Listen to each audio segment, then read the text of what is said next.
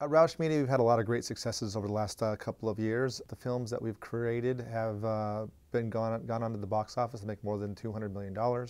So our client success is our success. Call the shot, Mr. Brand. One last time. On my mark. Fire!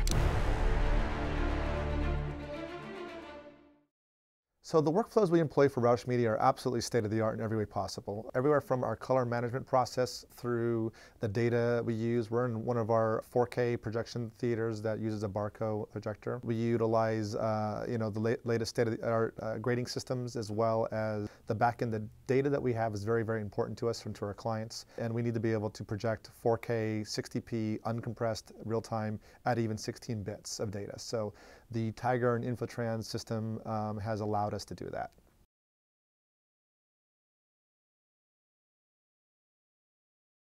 Jeff at Advantage is absolutely wonderful and awesome to us, and I've known him for a number of years, and I absolutely trust him with um, all of our needs to be able to get us uh, the equipment we need in a very time-efficient manner. He has some of the best customer service that I've ever had.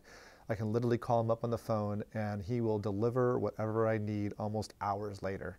Um, and, uh, and then he has a great staff that's helped us um, when we were doing this uh, project where we needed to revamp and upgrade our whole data infrastructure. We were previously on a StorNext SAN system, and we were looking for a new solution that would allow us to project playback uncompressed 4K 60 frames per second for one of our clients that we do special venue work. That's custom color profiles. It's basically an HDR pipeline for 4K 60p. And so that was the mandate when we, uh, I went to Jeff and I said, this is what we're looking to do. Um, are you able to help us with it? And so he suggested that we um, uh, contact, uh, work with his work with his engineering team and and create uh, a system based on Tiger technologies and Infortrend.